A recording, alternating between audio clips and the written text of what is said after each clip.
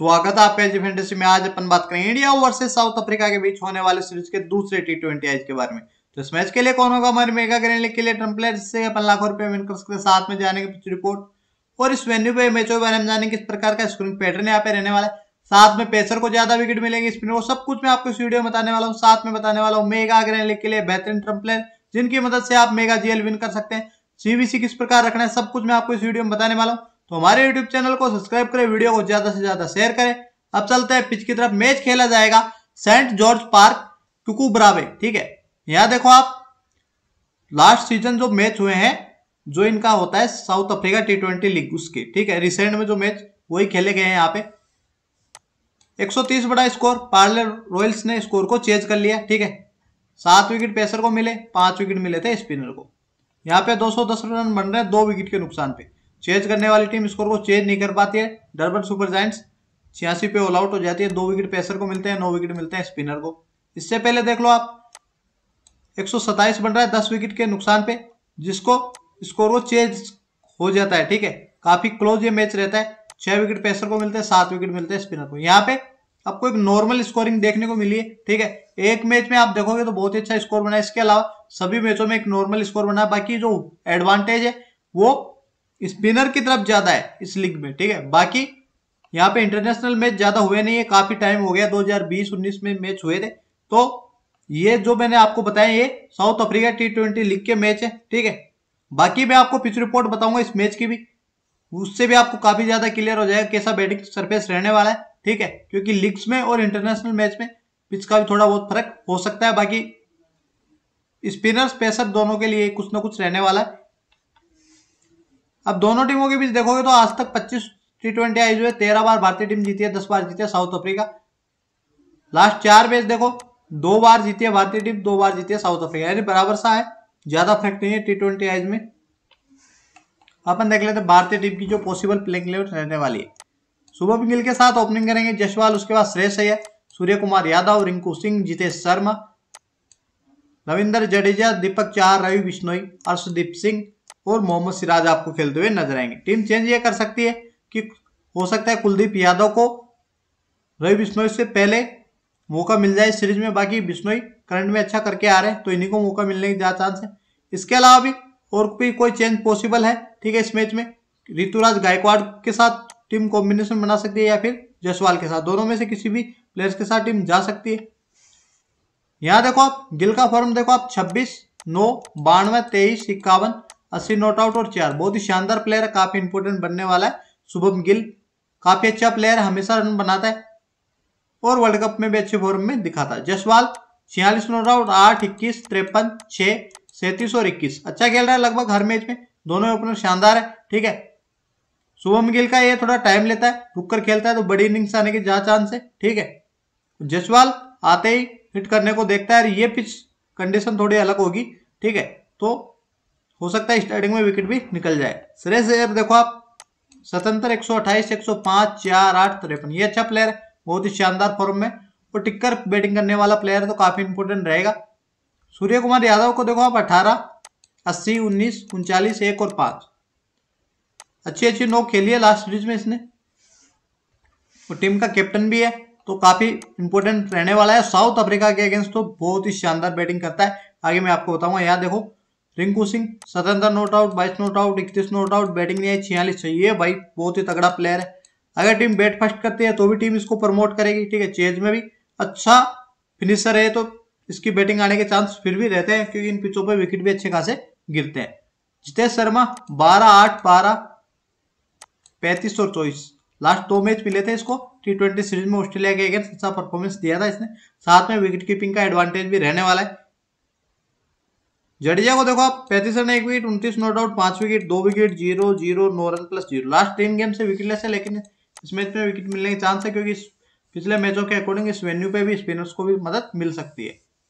दीपक चाहर सत्ताईस रन, तीन विकेट दो विकेट छियासठ नोट आउट ज़ीरो छह विकेट दो विकेट अच्छा प्लेयर काफ़ी इंपोर्टेंट प्लेयर रहने वाला है, दीपक चाहर अगर टीम को बैटिंग की ज़रूरत पड़ी है तो पड़ती है तो थोड़ी बहुत बैटिंग भी करना जानता है दीपक चाहर इसके अलावा बिश्नोई को मौका मिलना चाहिए। कुलदीप से पहले, एक विकेट दो विकेट एक विकेट तीन विकेट दो विकेट एक विकेट दो विकेट हर मैच में विकेट निकालता, काफ़ी शानदार बॉलर है। और साउथ अफ्रीका के बेस्ट पेस को शायद ज़्यादा फेस किए नहीं है तो काफ़ी इंपोर्टेंट रहने वाला है रवि बिश्नोई। अर्शदीप सिंह, ज़ीरो, चार विकेट ज़ीरो, एक विकेट एक विकेट दो विकेट और इनके अगेंस्ट अच्छा रिकॉर्ड है, इसका हेड टू हेड रिकॉर्ड में आगे आपको बताऊँगा। तो हर्षदीप सिंह इंपोर्टेंट रहेगा। मोहम्मद सिराज, तीन विकेट एक विकेट दो विकेट एक विकेट एक विकेट अच्छा बॉलर है वर्ल्ड कप खेल के आ रहा है, काफ़ी इंपोर्टेंट रहेगा।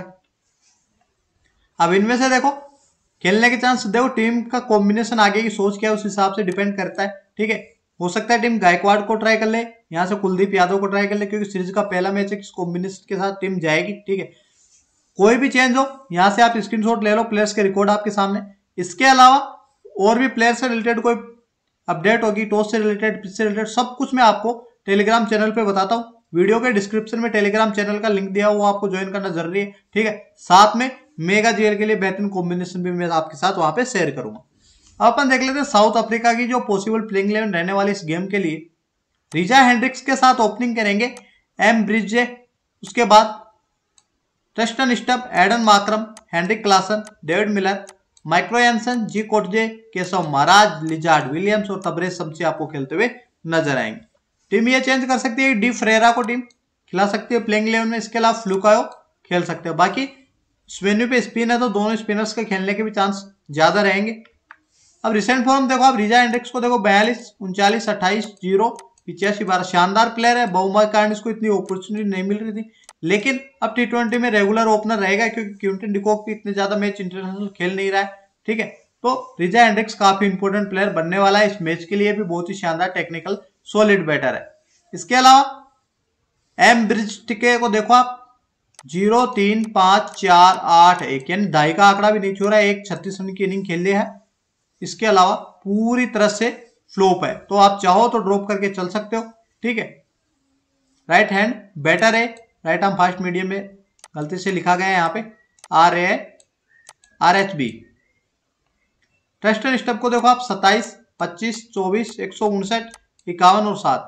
बहुत ही अच्छी बैटिंग करता है, काफ़ी टाइम से बहुत ही शानदार फॉर्म है। अगर टीम चांस है कि इसको टॉप दो ऑर्डर खिलाएगी। अगर टीम नीचे रखते फिर इतना ज़्यादा इंपॉर्टेंट नहीं रहेगा। अगर ये ऊपर खेलने आता है, तीन या चार नंबर पे, तब काफ़ी ज़्यादा इंपॉर्टेंट प्लेयर बन सकता है। सिलेक्शन काफ़ी लो रहने वाला है, लेकिन अच्छा प्लेयर है पोटेंशियल प्लेयर है।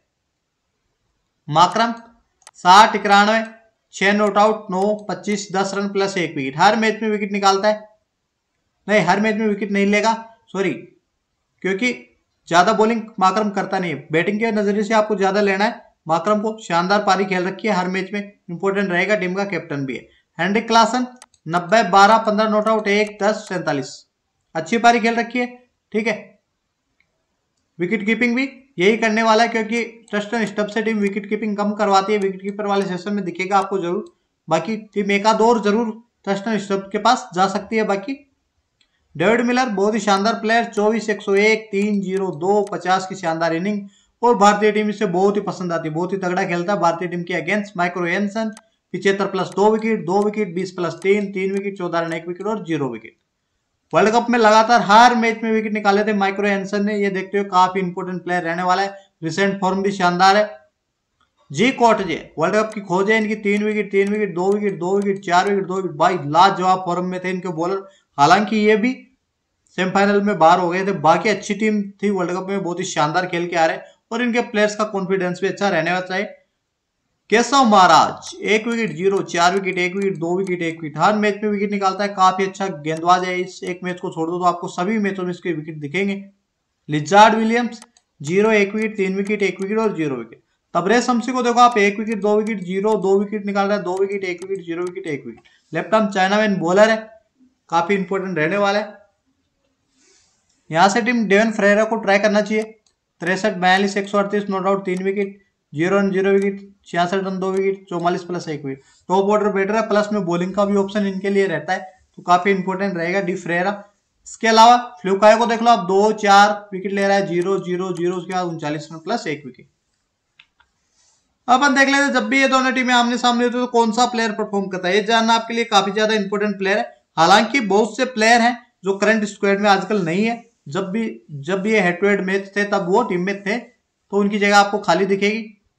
यहाँ देखो आप सूर्य कुमार यादव हर्षदीप सिंह, भारतीय टीम की तरफ़ से हमेशा परफॉर्मेंस करते हैं इनके अगेंस्ट साउथ अफ्रीका की तरफ़ से माक्रम डेविड मिलर ठीक है बॉलर्स इस मैच में अवेलेबल नहीं है, जो बॉलर थे पहले, जैसे रबाडा था, नोकिया था, वो प्लेयर थे इस मैच में, ठीक है। सूर्य कुमार यादव, फिर आपको इकसठ बनाता हुआ दिख रहा है, सूर्य कुमार पचास नॉट आउट यानी सूर्य कुमार यादव बहुत ही ज़्यादा इंपॉर्टेंट प्लेयर बनने वाला है। इसके अलावा अर्षदीप सिंह अच्छे विकेट निकालता है, ठीक है? ये आप यहाँ पे कर लेना अर्षदीप सिंह, ठीक है? तीन विकेट यहाँ पे निकाला है हर मैच में विकेट निकाला है, काफ़ी इंपॉर्टेंट प्लेयर रहने वाला है। लास्ट तीन मैच में सात विकेट निकाल चुका है अर्षदीप सिंह इनके अगेंस्ट मिलर इनकी तरफ़ से, माक्रम माक्रम मिलर काफ़ी इंपॉर्टेंट प्लेयर रहने वाले इसके अलावा केशव महाराज भी अच्छा प्लेयर है। विकेट और बैटिंग दोनों से इंपॉर्टेंट रहता है। बैटिंग भी कभी कभार ठीक ठाक ये कर जाता है। तो माक्रम काफ़ी इंपॉर्टेंट रह सकता है आपके लिए इस मैच में। क्योंकि मिडिल ओवर में बैटिंग करेगा स्पिन को अच्छा खेलता है। ठीक है? मिलर तो हमेशा ही शानदार खेलता है भारतीय टीम के अगेंस्ट हालाँकि बैटिंग थोड़ी नीचे आती है, ये देखते हुए आप बाकी पारी आप देखो तो बड़ी बड़ी खेली है। अपन देख लेते हैं इस मैच के लिए जो मेगा ग्रैंड लीग के लिए आपके लिए जो लोअर सिलेक्शन परसेंटेज प्लेयर है, उनको आप किस प्रकार से रोटेट करोगे? ठीक है? हर्षदीप सिंह रिंकू सिंह, जितेश शर्मा भारतीय टीम की तरफ़ से और साउथ अफ्रीका की तरफ़ से केशव महाराज, लिजार्ड विलियम्स और टेस्टन स्टफ़ हर मैच में मैं आपको ट्रंप पिक बताता हूँ। लोअर सिलेक्शन परसेंटेज प्लेयर में से वो हर बार वो पिक होते हैं। किस प्रकार आपको ट्राई करना है, ये जानना आपके लिए काफ़ी ज़रूरी है। अगर भारतीय टीम बॉल फ़र्स्ट करे, उस कंडीशन में हर्षदीप को आप फिक्स कर लीजिएगा। काफ़ी अच्छी बॉलिंग करने वाला है, इनके अगेंस्ट काफ़ी अच्छा रिकॉर्ड है। सेकंड में भी ट्राई कर सकते हो फ़र्स्ट में भी, दोनों में ट्राई कर सकते हो। इसके अलावा रिंकू सिंह, जितेश शर्मा में से आप एक प्लेयर को ट्राई करना। दोनों को आप जीएल के लिए भी ट्राई मत करना, क्योंकि दोनों को आने के चांस काफ़ी कम है, बाकी दोनों को भी ट्राई कर सकते हो, क्योंकि जितेश शर्मा विकेट कीपिंग भी करने वाला है। इनकी तरफ़ से केशव महाराज लिजार्ड विलियम्स और ट्रेस्टन स्टफ़ ट्रेस्टन स्टफ़ जब टॉप ऑर्डर में बैटिंग करे, तब इंपॉर्टेंट रहेगा, बाकी आप फिर टॉप ऑर्डर में बैटिंग नहीं कर रहा है लाइनअप्स के टाइम पे मैं बता दूँगा। तब आप केशव महाराज लिजार्ड विलियम्स में से एक प्लेयर को ट्राई कर सकते हो, यहाँ से आप डिफरेंसली प्लेयर्स को ट्राई करना, जो मैंने प्लेयर बताया, यहाँ से आपको दो या तीन प्लेयर हर टीम पे ट्राई करने और आपको मेगा ग्रैंड लीग के लिए काफ़ी इंपोर्टेंट प्लेयर रहने वाले और ड्रीम टीम के मेंबर ये हंड्रेड एंड टेन परसेंट बनेगी। अब इस प्रकार से टीम मैंने अभी के लिए बनाई है। हेनरी क्लासन को दोनों टीमों में रखा है। इसके अलावा सूर्य कुमार यादव, शुभम गिल श्रेष्ठ है ठीक है? Siraj, Bishnoi Arshdeep Singh Reeza Heinrich Aiden Markram, G Coetzee और केशव महाराज को मैंने रखा है। यहाँ मैंने क्या किया? हेनरी क्लासन को तो विकेट कीपर रखा है। यहाँ मैंने सूर्य कुमार यादव, डेविड मिलर, यशस्वी जसवाल माइक्रो एंसन एडम माक्रम को मैंने यहाँ पे रखा है। यहाँ मैंने रिजा हेनरिक्स को नहीं लिया है। हर्षदीप सिंह को, रवि बिश्नोई को लिया, केशव महाराज, लिजार्ड विलियम्स और जी कोटजे को मैंने ट्राई किया। इस प्रकार डिफरेंसली आपको प्लेयर्स को ट्राई करना है, जो मैंने ट्रंप प्लेयर बताया, उनको डिफरेंसली आपको ट्राई करना है। रिंकू सिंह, जीतेश शर्मा को भी आपको रिस्क लेकर किसी प्लेयर पे ट्राई करना है, ठीक है? सीवीसी के लिए आपके लिए सबसे अच्छी पिक रहने वाला है फिर से इस मैच के लिए। भारतीय टीम के टॉप ऑर्डर की तरफ़ से आप देखोगे तो शुभम गिल अच्छा ऑप्शन रहने वाला है कैप्टनसी के लिए और सूर्य कुमार यादव अच्छा ऑप्शन है। तो ये दोनों ही बहुत ही शानदार खेलते हैं, बड़ी पारी। सुरेश एयर भी को भी आप ट्राई कर सकते हो। इसके अलावा बॉलिंग से आप वीसी ट्राई कर सकते हो हर्षदीप सिंह को, और रवि बिश्नोई काफ़ी ज़्यादा इंपॉर्टेंट प्लेयर बन सकता है इस गेम के लिए।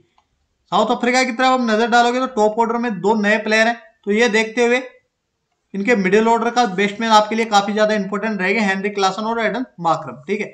वीसी के लिए आप जी कोटजे को भी ट्राई कर सकते हो माइक्रो एंसन भी अच्छी पिक रहने वाला है। तो दोस्तों, वीडियो ज़्यादा से ज़्यादा शेयर करें चैनल को सब्सक्राइब करना ना भूले। धन्यवाद।